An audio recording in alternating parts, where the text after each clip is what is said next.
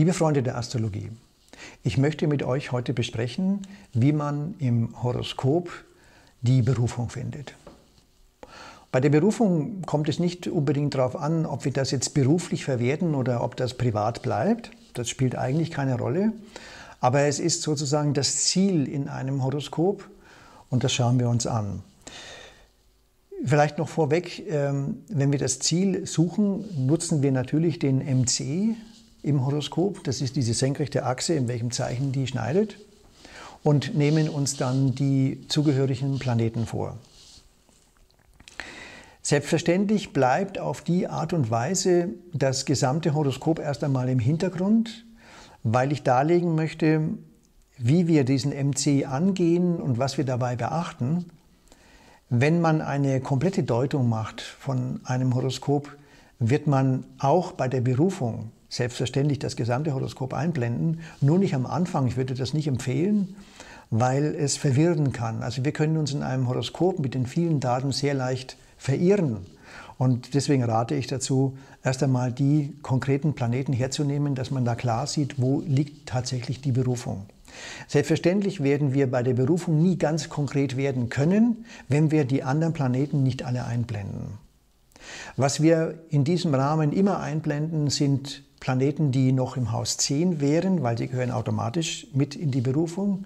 Und wir werfen so einen Blick auch auf die Sonne, weil die Sonne ein Hinweis ist, wo findet denn die Berufung eine Verwirklichungsebene? Ja, wir werden dann gleich beim ersten Horoskop sehen, dass das ausschlaggebend ist, wo die Sonne ist, weil man sonst äh, woanders suchen würde. Schauen wir uns das erste Thema gleich an. Wir haben hier ein Horoskop mit MC Stier und beim MC Stier geht es definitiv um Sicherheit. Das kann eine materielle Sicherheit sein, das kann aber auch eine emotionale Sicherheit sein oder dass es hier um den Selbstwert und Selbstliebe etc. geht, ja, um die Werte generell. Nachdem die Sonne hier in Haus 2 ist, kann ich gleich sagen, hier geht es sehr wahrscheinlich um die materielle Sicherheit. Muss aber nicht unbedingt. Also es könnte genauso gut sein, dass ich hier mit einem MC Stier sogar im Bereich der Kunst ähm, gelange. Ja? Und zum Stier gehört ja die Venus und die Venus in 12 könnte auch wieder Kunst sein. Aber bei diesem Horoskop ähm, deutet sich das so an, dass es hier ums Dienen geht. Also Kunst und Dienen ist ja immer sehr nah beieinander, aber es ist schon ein großer Unterschied. Ich muss zugeben, dass genau bei diesem Horoskop, da geht es tatsächlich ums Dienen. Also ich kenne diesen Menschen, aber wir haben hier Stier, MC Stier und die Venus im Löwen im Haus 12. Das ist eigentlich tatsächlich eine Kunstkomponente. Ja? Also wir haben hier einen Menschen, der durchaus sich auch hätte mit Kunst beschäftigen können. Am Rande, ja? nicht eindeutig am Rande, also es wäre durchaus möglich gewesen. Aber hier geht es um etwas anderes. Dieser Mensch sucht seine Sicherheit dadurch zu gewinnen, dass er über die Venus in Haus 12 anderen Menschen dient. Und dass er den anderen Menschen mit einem gewissen ja, Wohlwollen und mit einer gewissen Großzügigkeit dient, ja, weil die Venus ja schließlich im Löwen ist. Also das Dienen ist ein Dienen, was dem Materiellen auch dient, letztendlich, es kann auch ein Dienen und eine Fürsorge sein mit materiellen Mitteln. Diese Venus kann nur so, wie der Krebs zulässt, weil das zwölfte Haus im Krebs schneidet. Das heißt, hier hängt Dienen und Kümmern zusammen.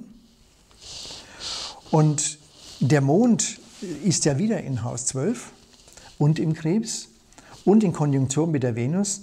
Das heißt, wir haben hier es eindeutig mit einer Form des Kümmerns und Dienen für andere Menschen zu tun, um Sicherheit zu erlangen. Und eindeutig weist darauf hin die Sonne in Haus 2, die in der Jungfrau steht. Und Jungfrau ist ja wieder ein Thema des Dienens auch, der Dienstbarmachung. Und weil eben die Sonne in der Jungfrau hier steht, geht es weniger um Kunst. Und deswegen komme ich also auf die Idee, dass hier eindeutig ein Dienen vorrangig ist. Gut, schauen wir uns das zweite Horoskop an. Wir haben es hier mit einem MC-Zwilling zu tun. Beim MC-Zwilling geht es um Kommunikation, ja, Austausch, Darstellung. Und diese Kommunikation fällt mit dem Merkur, der zu den Zwillingen gehört, ins elfte Haus. Und wenn der Merkur im elften Haus steht, heißt, ich bediene hier kommunikativ in irgendeiner Form eine soziale Gemeinschaft. Nachdem es hier um etwas Berufliches geht, würde ich sagen, ich bediene hier eine Klientel. Und ich bediene die Klientel auf löwische Art und Weise, das heißt, ich führe diese Klientel. Ja? Mit einer gewissen Ausrichtung aufs Materielle. Und ich komme da auch recht souverän rüber. So, was vermittle ich da? Ja? Wie bediene ich diese Klientel? Und ich bediene die Klientel so, wie der Krebs entscheidet, weil das elfte Haus schneidet im Krebs und zuständig ist der Mond. Und der Mond steht hier im Steinbock und im Haus 4. Der Mond im Haus 4 strebt nach emotionaler Sicherheit, nach Geborgenheit, sich überhaupt geborgen fühlen, sich wohlfühlen mit einer hohen Verbindlichkeit, weil der Mond ja schließlich im Steinbock steht. Also es geht etwas um eine Grundlage, um eine reale Grundlage, um mich wohl zu fühlen. Und das Ganze sollte mir dann auch noch eine Fülle bescheren, weil schließlich das vierte Haus ja im äh, Schützen schneidet. Ja, was könnte das sein? Das ist hier ein äh, Versicherungsvertreter. Das ist also jemand, der Versicherungen verkauft.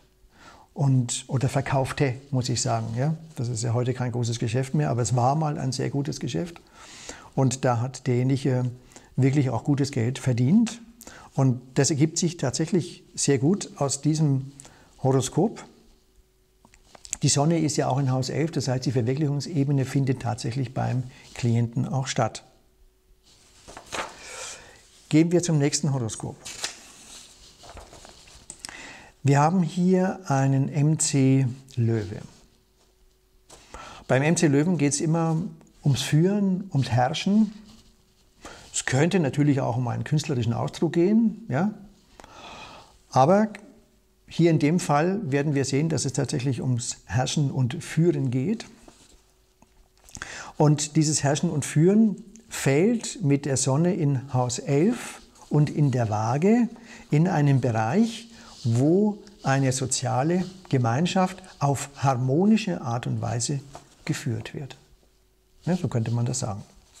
Soziale Gemeinschaft. Wir wissen noch nicht, was das ist. Es könnte jetzt natürlich eine Klientel sein, aber es könnte auch nur eine soziale Gemeinschaft sein. So, und diese Sonne in der Waage kann sich nur so um diese Klientel bemühen, um diese, Klientel führen, so wie die Jungfrau zulässt. Und dann müssen wir schauen, wo ist der Merkur? Und der Merkur ist in Haus 12.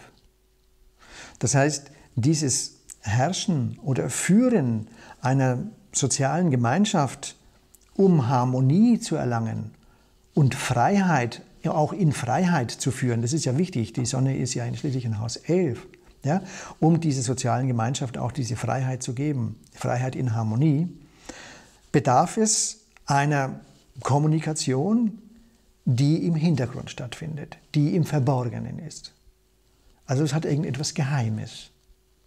Ja, es ist nicht öffentlich. So, jetzt ist es so, dass dieser Merkur in der Waage steht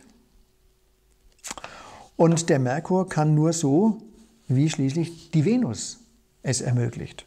Jetzt müssen wir schauen, wo ist die Venus? Und die Venus ist im Skorpion und im Haus 1. Da könnte man sagen, die Venus im Skorpion, wir gehen jetzt mal von den sexuellen Dingen ab, die spielen hier keine Rolle.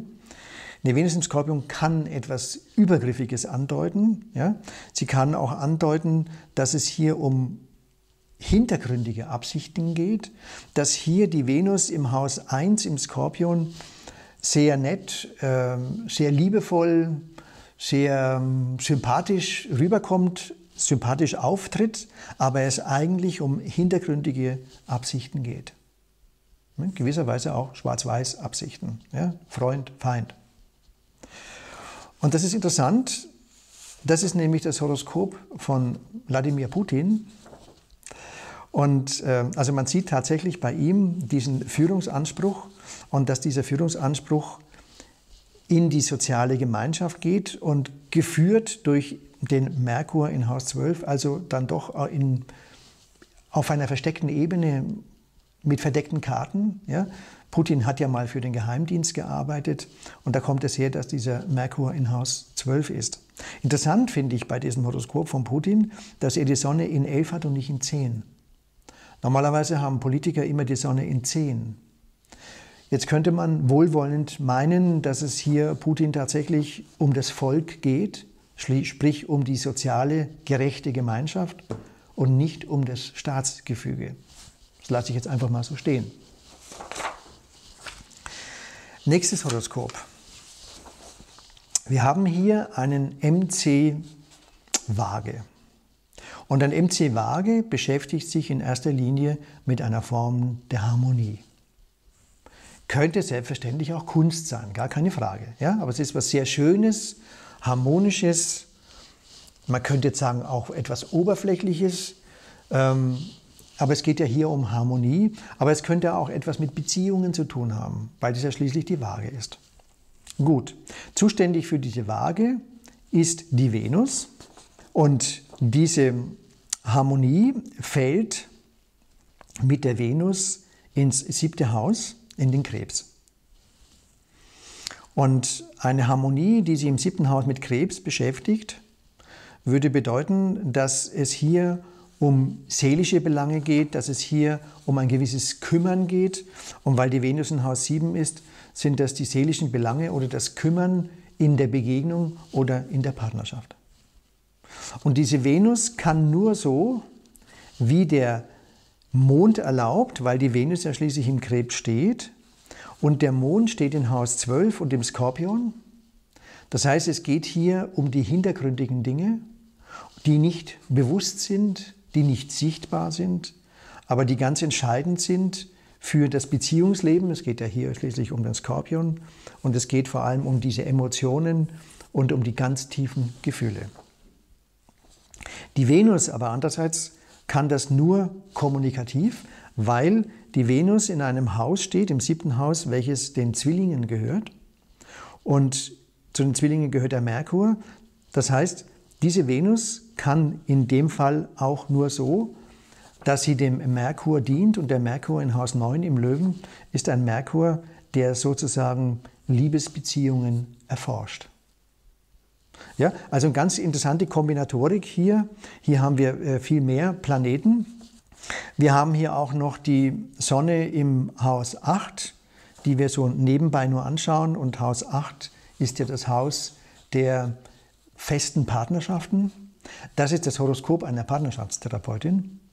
Nebenbei müssen wir uns noch anschauen, den Planeten Jupiter in Haus 10, der spielt ja auch immer eine Rolle. Und Jupiter in der Waage in Haus 10 ist ganz eindeutig die Diplomatie, die Gerechtigkeit oder auch der Mediator. Ja? Und das Ganze in einem öffentlichen Bereich, also das ist ein öffentlicher Mediator in der partnerschaftlichen Beratung. Schauen wir uns das letzte Horoskop an. Bei diesem letzten Horoskop haben wir einen Steinbock MC, beim Steinbock NC geht es ganz eindeutig um ein Wirken in der Öffentlichkeit. Ja? Ein verbindliches Wirken in der Öffentlichkeit. Und zu dem Steinbock MC, der übrigens auch sehr ehrgeizig ist, gehört der Saturn. Und der Saturn sitzt im Haus 11 im Wassermann. Und ein Saturn im Haus 11 im Wassermann kann man schlicht und ergreifend sagen, ist eine soziale Verantwortung.